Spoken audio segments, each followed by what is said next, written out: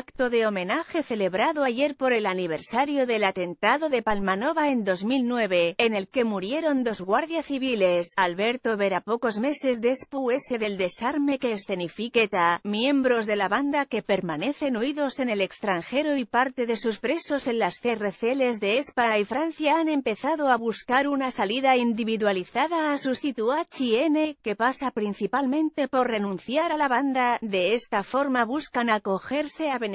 penitenciarios y judiciales, los integrantes de la organización terrorista ETA han interiorizado que el fin es real, que no hay vuelta a TRS, que no hay dirección etarra que fije N así que por tanto, no existe ninguna estructura que le respalde, por este motivo se estén produciendo estos pasos individualizados que han sido detectados por los especialistas en la lucha antiterrorista del Ministerio del Interior, por una parte es de la situación de los presos, recientemente, el colectivo de reclusos el autodenominado Frente de Maco realizó un sondeo entre los suyos para saber si estaban en disposición de mantener la LNA dura o si jaba que modificar la ruta y acoplarse a la situación de presos comunes, para acceder a beneficios penitenciarios, los etarras secundaron el cambio de ruta, el colectivo de presos qued pendiente de organizar la LNA de trabajo nueva de cara a septiembre, pero las peticiones han comenzado a llegar, los presos quieren desvincularse uno a uno de la organización etarra para poder convertirse en reclusos comunes y salir de la legislación antiterrorista. Este camino, ya abierto hacia Oscola V Ananclares, permite comenzar a acogerse a situaciones de las que disfrutan el resto de los presos y se renuncia a ETA. Gracias a esta posibilidad, muchos de estos etarras comenzarán en breve a disfrutar de permisos penitenciarios y un importante enemigo podrán acogerse incluso al tercer grado. Desde el Ministerio del Interior se advierte no obstante de que no habrá atajos, que no se acelerar excarcelación alguna y que los etarras que quieran entrar en la VA de los presos comunes deberán mostrar claramente su ruptura con ETA y su arrepentimiento. Una de las batallas que tienen abiertas las subetimas con el colectivo de presos es que la exigencia del Estado sea mayor y se obligue a que colaboren con la justicia.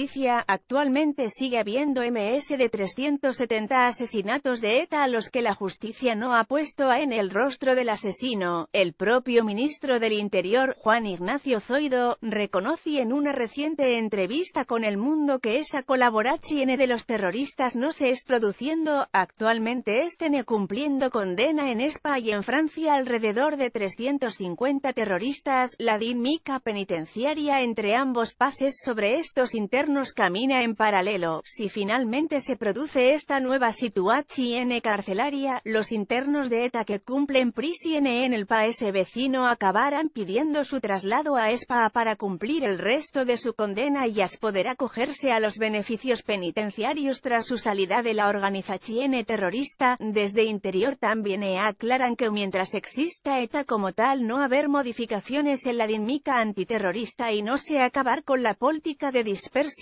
otra cosa ser cuando ETA emita un comunicado anunciando su disolución, a partir de ese momento, la dinámica podrá ser totalmente diferente, en cuanto a los huidos, se estima en OMS de una treintena los integrantes que AN forman parte de ETA y que tienen como misión fundamental cuidar las estructuras que la banda tiene AN en Francia y, sobre todo, evitar ser detenidos. Sin embargo, con el declive etarra los fondos se estén acabando y elementos como la cobertura de pisos, también, además, hay un importante enemigo de terroristas y colaboradores que se han marchado a diferentes pases de América Latina, fundamentalmente a Venezuela. Según explicaron fuentes de la lucha antiterrorista, durante las últimas semanas se ha detectado CEMO, a través de abogados de la izquierda a Berchale. Algunos de estos huidos se han interesado por sus causas judiciales quieren saber en qué situación estén sus sumarios, si siguen reclamados y si sus causas han prescrito o no. Los analistas interpretan que estos movimientos demuestran cómo la estructura etarra es totalmente descompuesta. Cada uno es tratando de buscarse su salida, apunta un especialista, entienden que la gran mayoría de los etarras reclamados no tiene intención de volver, que viven fuera de Europa muchos de ellos con identidades falsas, pero esas consultas de los abogados aberchales apuntan a que hay un reducido número que trata de conocer su situación porque lo que quiere es volver a ESPA, el perfil de estos eleaptimos es el de miembros de ETA sin delitos de sangre, con acusaciones por colaboración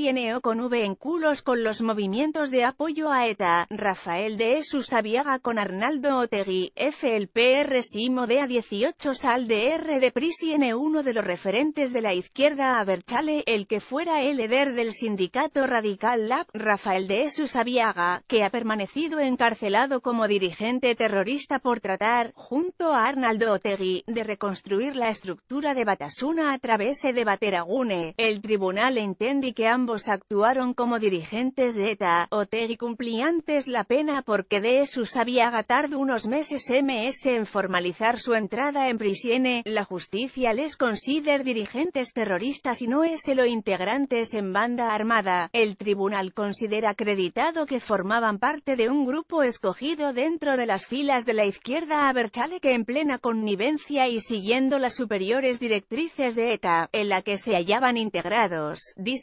una estrategia de acumulación de fuerzas soberanistas.